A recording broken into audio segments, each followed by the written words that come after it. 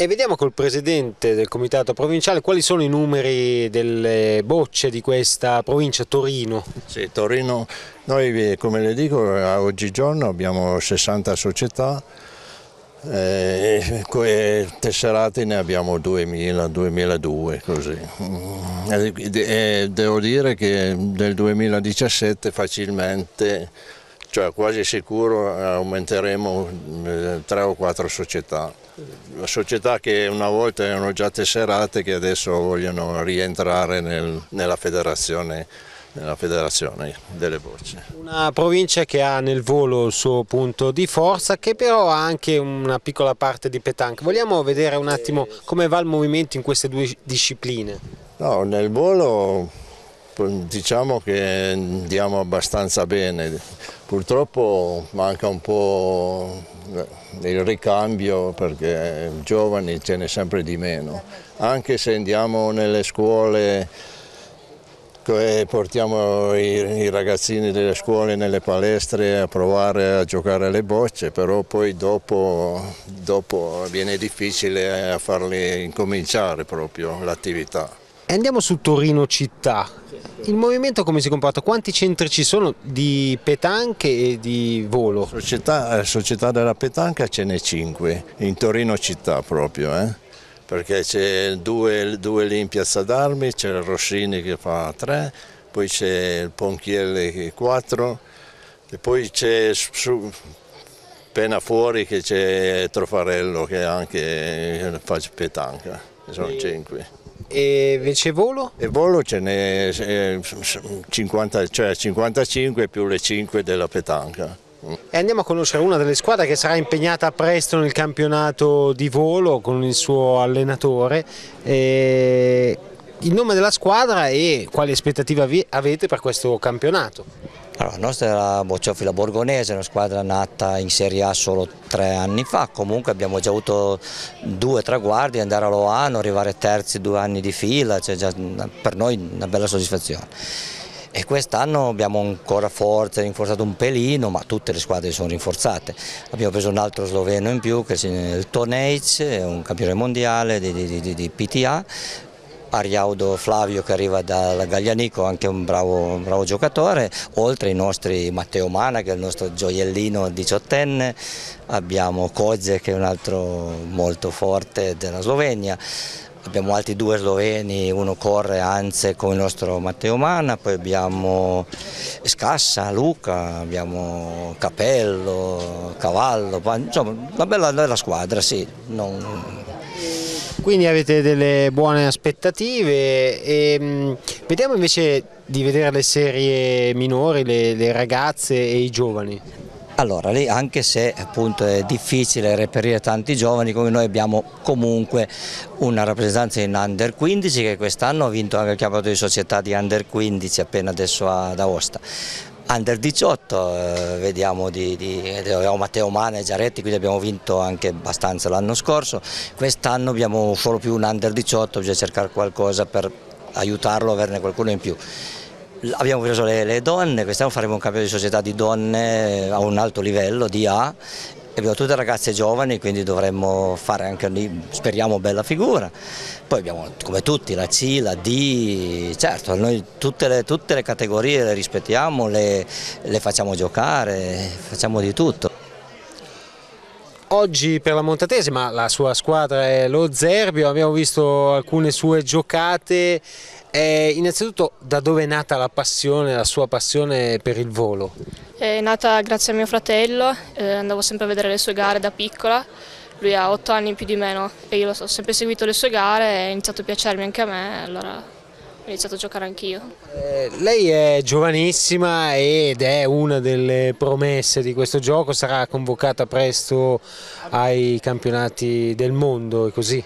Sì, eh, i campionati in Marocco saranno dal, dall'1 al, all'8 di ottobre con quali aspettative lei va a giocarsi questo mondiale?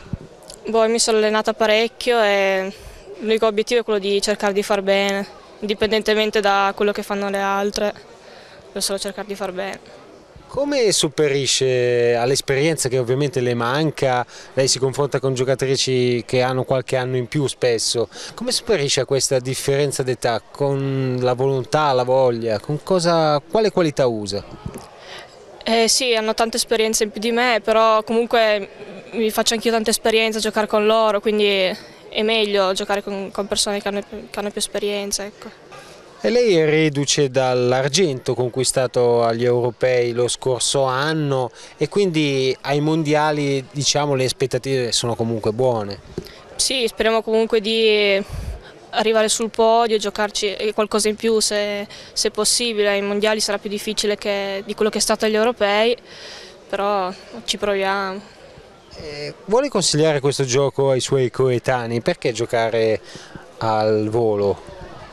Ma perché comunque è visto da tanti come un gioco, ma in realtà è proprio uno sport, perché dietro c'è tanto allenamento che, che, la, che, la, gente spesso non vede, soprattutto anche nel tradizionale, poi soprattutto nelle prove di corsa c'è tanto dietro. Quindi vi siete aggiudicati questa gara e vuole raccontarci le fasi principali, come siete arrivati alla vittoria? Eh, ci sarebbe tanto da dire perché dovevamo perdere la prima partita, ad essere sinceri, poi con l'ultima boccia fortunata eh, siamo riusciti a, a uscirne. Poi la, la semifinale, per, soprattutto per colpa mia, siamo andati quasi alla sconfitta, perdevamo 10 a 1 e poi gli avversari ci hanno, ci hanno dato una bella mano, noi ci siamo ripresi, ne siamo usciti con dei bei numeri del mio compagno migliore e la finale forse sono mancati un po' gli avversari. Tra poco le premiazioni, ma vogliamo ricordare una cosa, lei è un esempio di giocatori duttili che passano dal volo alla petanque, è campione di petanque ma anche di volo e come si diciamo, eh, come riesce a essere bravo in tutte e due le discipline? Io ho iniziato con la petanque fin da piccolo, poi a 14 anni sono passato a giocare al volo e contemporaneamente frequentavo due, le due discipline. Ci va un po' di costanza, molta costanza, allenamento e tanta, tanta psicologia direi io e forse un po' di talento perché sono dei modi di giocare differenti, di approcciarsi al, modo, al gioco differenti, per cui si può fare, ci sono tanti giocatori ultimamente che lo fanno, che passano dal volo alla petanca soprattutto e bisogna adattarsi, mettiamolo così. Diciamo il braccio è un po' abituato anche a peso diverso dalla boccia. Sì, sì, il peso è diverso, il diametro è diverso, il movimento è diverso perché la petanca si gioca da fermi, qua si corre, però ci si può eh, ripensare, nel senso bisogna fare uno sforzo e cambiare il modo di pensare perché è un modo diverso, un modo di giocare la boccia differente, un po' di allenamento e si arriva da tutte le parti, l'allenamento porta ovunque. Consiglio ai ragazzi per questa disciplina, venite a giocare a boccia, venite a giocare a petanque, venite a giocare a volo. Sì, io direi tutta la vita perché giocavo al calcio, poi sono passato alle bocce ho sempre giocato, però eh, ho trovato dei, dei, buoni ambienti, delle buone persone. E il calcio forse in Italia o altri sport comunque sono un, un po' spinti all'estremo, circolano magari troppi soldi, qua rimaniamo un po' con i piedi per terra, per cui è un ambiente che io consiglio di frequentare vivamente. Una parola anche a chi comunque è arrivato secondo ma ha perso questa finale, lunga, due giornate molto lunghe che comunque vi hanno messo in buona evidenza. Certo, abbiamo fatto un'ottima gara secondo me ad alti livelli, a parte la finale che abbiamo peccato un po' per stanchezza, però abbiamo ottenuto un ottimo risultato per le nostre possibilità. E I vincitori infatti hanno detto alla fine sono calati un po' loro e ci hanno regalato una vittoria, noi siamo stati fortunati all'inizio e alla fine loro sono calati e la vittoria è arrivata. Eh sì, abbiamo accusato un po' la stanchezza che siamo anche andati a dormire a casa, che ci va due ore andare, due ore tornare, abbiamo accusato poi la fine.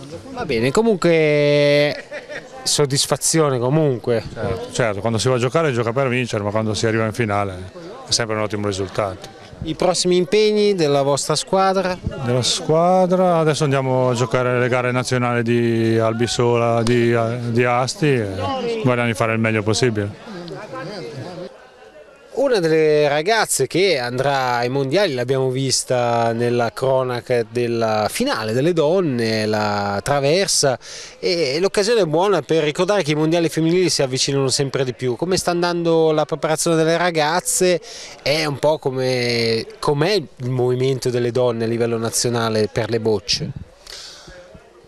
Come sta andando? Direi che, eh, parliamo della traversa giustamente, 15-20 giorni fa c'è stato uno stage a Saluzzo in cui c'erano le 12 migliori giocatrici italiane in preparazione per il futuro campionato del mondo che si terrà fra 15 giorni circa a Casablanca in Marocco. Da questo stage il nostro tecnico Amerio ha fatto le convocazioni. Io vi posso dire le convocazioni tutta gente veramente di altissimo livello, pur essendo giovanissime. Laggiù avremo le due sorelle terribili, le chiamano, le sorelle Venturini. La Virginia, eh, la Virginia farà il progressivo, quindi la corsa individuale, mentre invece la Venturini la Caterina sarà la nostra portacolori, diciamo, nella prova individuale tradizionale individuale, mentre giocherà in coppia insieme alla Veronica Piccoli. La Veronica Piccoli è una, è una new entry nel giro della nazionale, una ragazza che si è presentata con tutti i numeri che potrà di sicuro portare avanti il nostro vessillo italiano, il tricolore. Nuova, nuovissima anche lei, la, la Zorini, la Zorini Barbara, lei farà due prove, la prova del combinato e il tiro di precisione. E diciamo così che è stata, secondo Amerio, una sua, così, ha visto in questa ragazza delle potenzialità grandissime. Potrà ancora molto molto migliorare, ma attualmente è già a livello mondiale. Per ultimo abbiamo parlato della Traversa, quindi Traversa e Falconieri, tutte e due della Zerbion di Aosta, invece saranno nel cosiddetto tiro staffetta a detta di molto del pubblico qua che hanno potuto vedere la traversa giocare, eh, sono ragazzi che potrebbero benissimo competere con i loro colleghi uomini in questo sport. Sì, eh, d'altronde competono, non ancora molto perché sono ancora giovanissimo, ogni tanto, ma poco poco poco, anche perché sarebbe come rovinarle in quanto cambiano eh, diciamo, le lunghezze dei campi, è tutta una cosa difficile e bisogna andare con gradualità per non diciamo così bruciarle. Alcune di loro, per esempio le sorelle Ventilini, giocano tranquillamente già anche in, in vari campionati a livello diciamo, uomo, giocano con i maschi, quindi non c'è nessun problema. No un passo in più di questo sport, possiamo dirlo, no? rispetto ad altri. Sì, diciamo che un passo molto, io direi molto importante questo, perché il nostro settore giovanile sta crescendo piano piano, perché non è facile dire a una ragazza gioca a bocce, sembra sempre una cosa un po' vecchia, retro. Invece si sta tornando a capire che il gioco delle bocce, con tutte le prove che ha attualmente, progressivo, il tiro progressivo, la staffetta, la navetta, il combinato, sono prove in cui l'atleta eh, diciamo, si vede veramente, non solo la giocatrice di bocce, lì viene fuori l'atleta, in quanto ci sono molte, molte ore di preparazione per poter arrivare a dei risultati ottimali.